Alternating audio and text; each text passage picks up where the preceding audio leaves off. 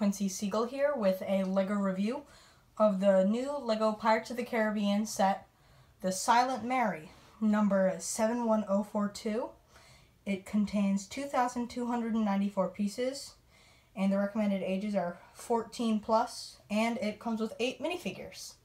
So let's get started with the review. Notices the ship's very detailed and complex look with all the cannons and just all the detail that went into every single little piece from uh, where the little pieces go to how they're positioned and everything on the ship. So starting in the back here, we have the little designs with the little chains hanging off and three towers on here. Obviously, this isn't to scale, so the towers seem a lot smaller than they actually should be in universe.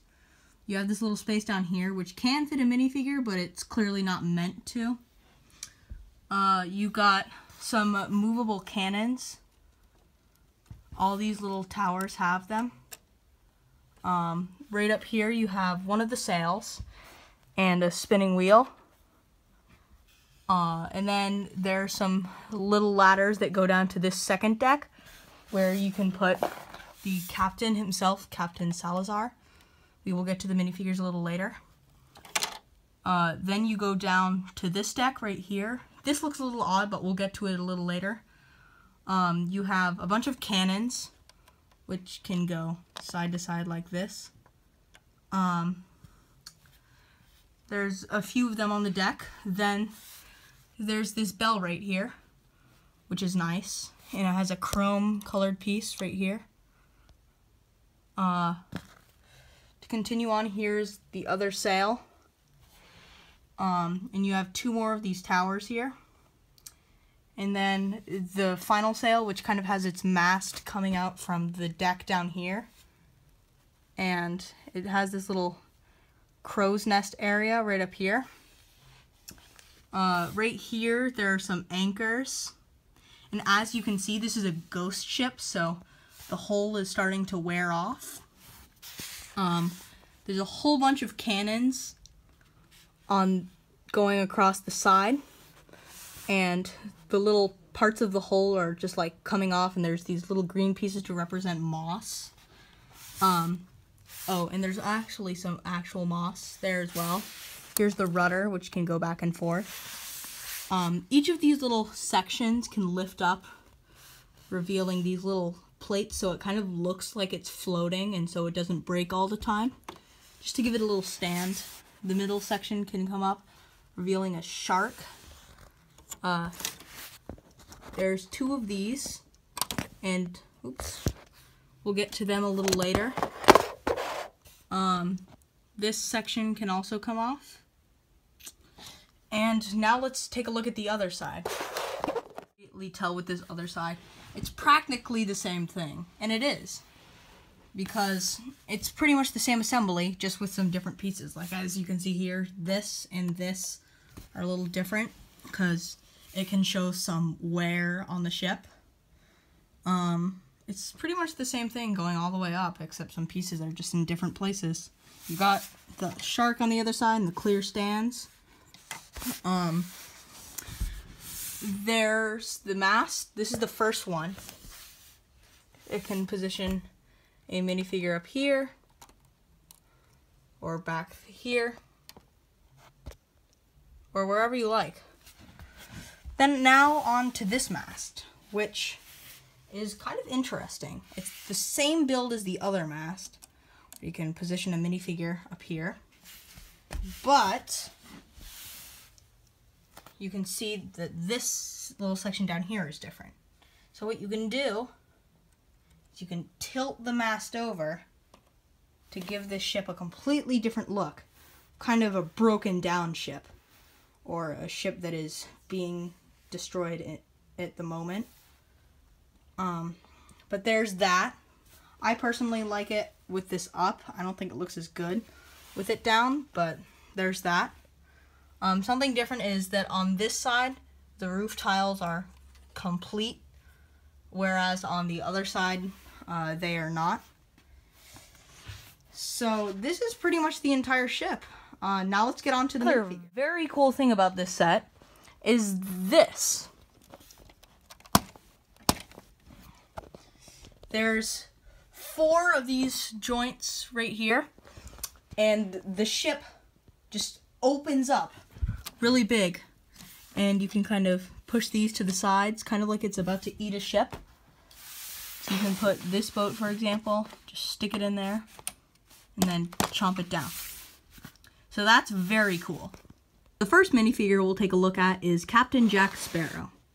As you can see, he has some very nice printing right on the hood right here. If it'll focus. Um, so you got that nice, very detailed printing. And also on the coat tails and the torso, they had that printing.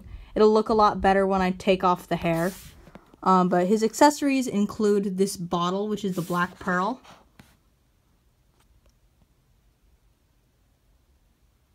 And his compass, which is actually now molded in black. His other weapon includes the standard cutlass, right here. Nothing special about it. But there's uh, the front of Captain Jack Sparrow, and now let's turn him around to reveal his alternate face. Whoops. Here is Captain Jack Sparrow's alternate face, which is kind of scared. And you've got, you can see the printing a lot better. And the front printing as well.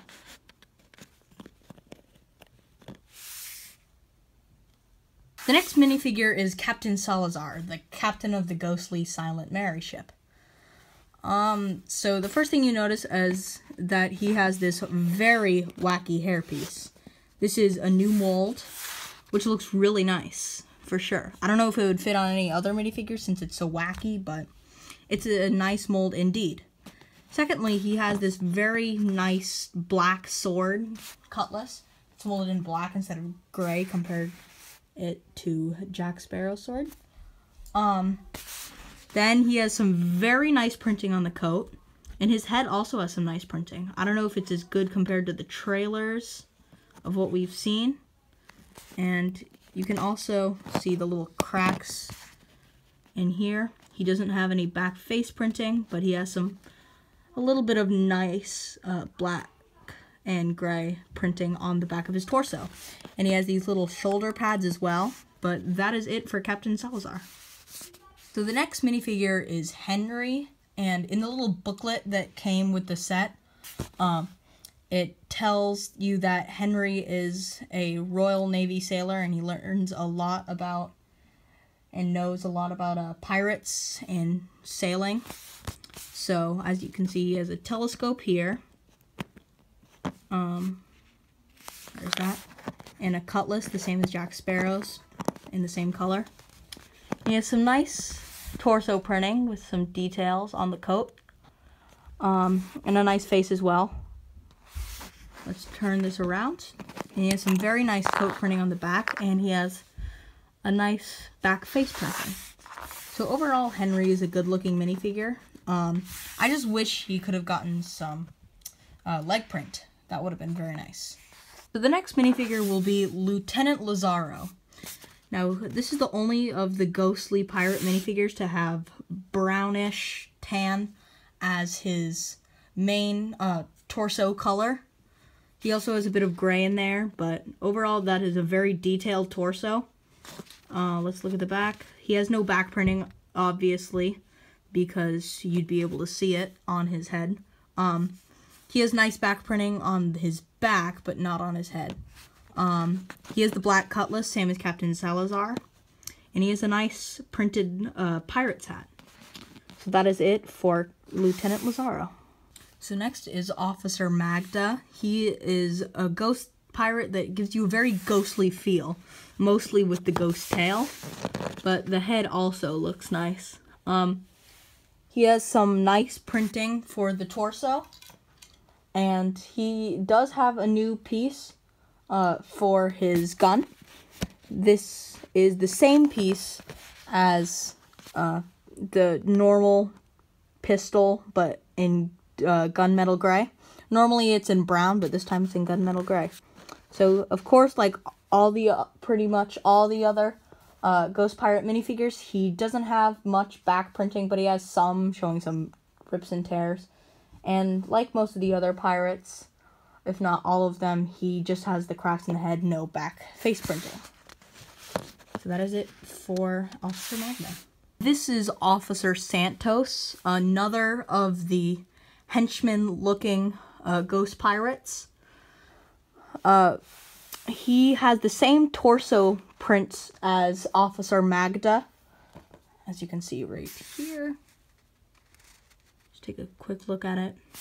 Um, he has the same sword as Captain Salazar and Lieutenant Lesaro. He has nice new legs with the coat continuing on there, and then the one black leg and the one clear leg. That looks really cool. He has uh, a clear head with printing on it. It's the same thing for all the others with the back head printing and the back printing. Only thing different uh, than some of the other pirates is his hat, which is the same one that Officer Magda sports. Next minifigure is Karina, who uh, is on the good guy side, Jack Sparrow and Henry and those guys. Um, at least I think I haven't seen the movie, but uh, she has this nice gown, and she has this little device to help her tell the stars or navigate the stars or something like that. It's pretty cool. I've seen it in a few cents. Um, she also has this journal, which is exclusive to the set, which is Galileo's journal of I don't know, star navigating, I don't know what you would call it. Um, has this very nice printed piece right here. Um, that's it for the book. Uh, now let's take off her hair so you can see the back printing and the back face. It's nice that all the main minifigures have back faces. I just wish somebody like uh, Captain Salazar would. Um, but overall, uh, her minifigure isn't super detailed as much as the others, but it's detailed enough. This is the Silent Mary Masthead, as the set is calling it. Um, this minifigure has a sword that is normally used in knights, not in pirates, and a shield that has literally nothing on it. She has some very nice torso printing, but no leg printing, sadly. Uh, but she has a nice head, and on the back of it, she has very lively head, uh, and very lively just head features. Like, in the movie, I'm pretty sure she's supposed to come to life. So that's pretty cool. And if you didn't see the minifigure in the main lineup, there's a reason why. She actually goes on the front of uh, the ship. Which is pretty cool. There's this little stand for her that she can go on. So that's cool two of these zombie sharks that detach from the little point I was showing earlier. Um, they're very nice. They're super cool looking. And they have the little rib cages here that you can see, uh, which are not uh, parallel to each other. There's a little spot where a minifigure can hatch on right up here. If I can get it to work. There we go. Um, there's also a spot for a minifigure to stand. Here you go, Lieutenant Lesaro. Um, but some nice face printing, and of course, like all these sharks, they can eat people, but it's really cool because um, you put the minifigure through and you can see in the rib cage. I'll take somebody like Henry, for example. Um, you have to put his hands up I'm going to stick them right in. Shake them a little bit. There you go. And you can see him right in here. Right there. And as I said, in this set, it comes with two of these zombie sharks. So there you go. The final thing for the set is this tiny little dinghy for the good guys. Just comes with two oars and this little seat build. It's nothing much. It has a little lamp on the end, which is kind of cool, but it's just a little dinghy that appears in most sets. Overall, the Silent Mary is an awesome set, and I definitely recommend it if you have the money to get it. It is $200, so it's pretty expensive, but I think it's worth every penny. The minifigures are great. the uh, entire ship is just so good. Uh, my only flaws with it is I wish it included a couple more minifigures, like a Barabosa minifigure would be great. Um, but uh, that is pretty much my only flaw, except for this mast. I get it that it's it happens like that in the trailer, but I just don't like it like that. But that's my personal opinion. So I hope you enjoyed this review, and I'll see you in another one soon. Bye.